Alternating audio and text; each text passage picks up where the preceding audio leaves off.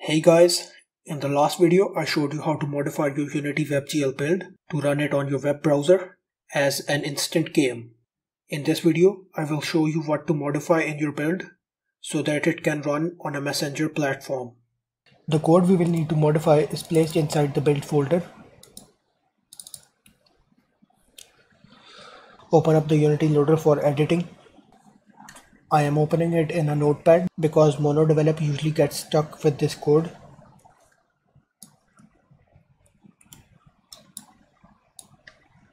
So as you can see, an unindented code. Copy the whole code.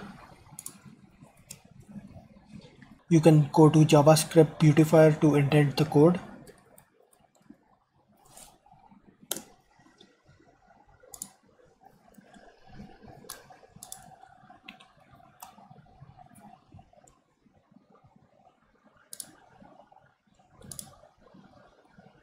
Copy the code and paste it back.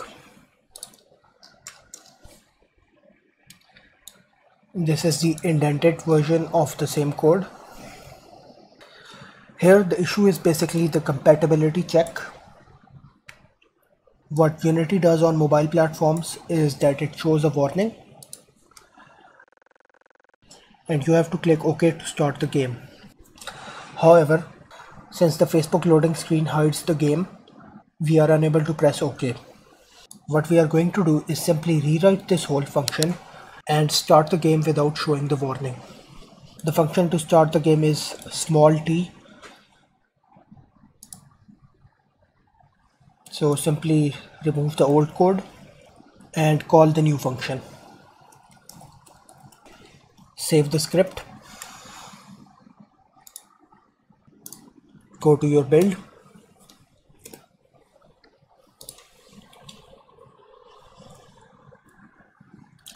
archive it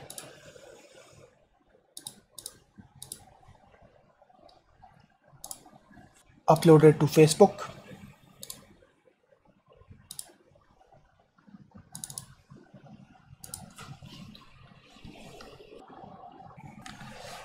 Put the new build up for testing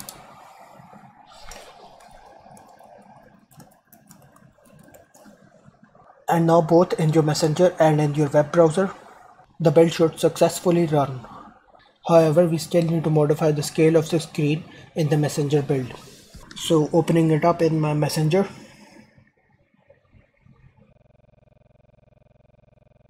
and there we go successfully loading loading completed and the game has started you should be able to notice that the canvas is not properly scaled. Up next we are going to fix that.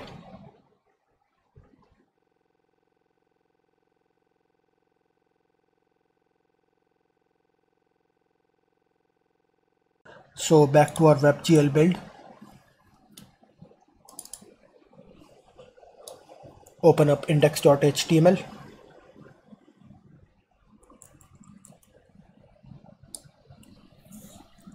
First off, we are going to hide the footer.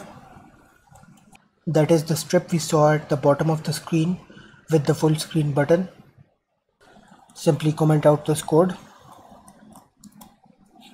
Next, modify the width and the height so that it fits to 100% of the screen.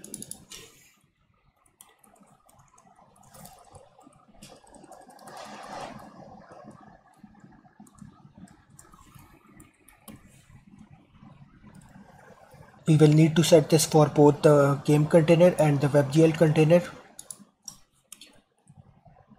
Copy the style for the WebGL container. And now the scale should be correct on the messenger platform. Next we are going to hide the Unity logo. The logo is placed inside the template data.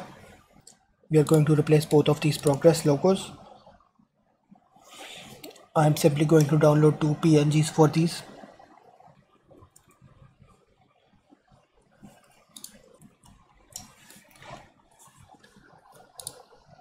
Delete the old logos and place the new logos with the same name.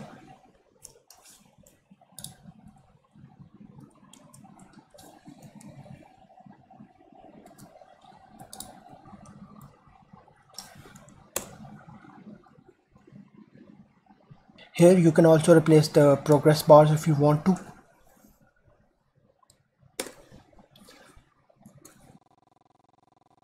So again archiving the build.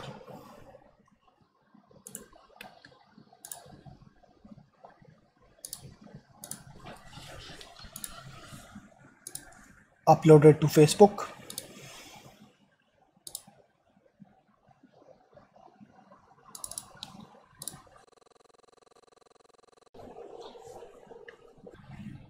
send it to testing. And back to the messenger.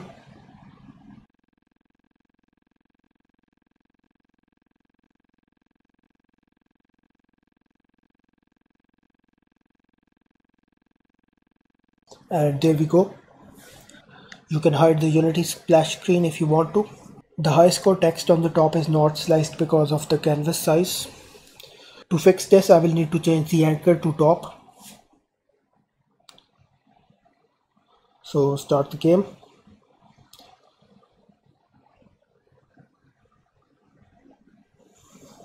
And there we go. Everything running perfectly in the messenger platform. Similarly, if we test our game in the browser,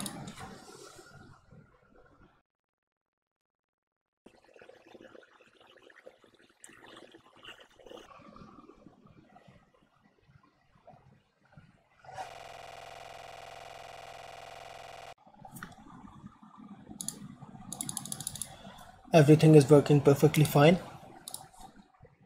If you guys found this video helpful, click on the subscribe button below for more useful Unity videos.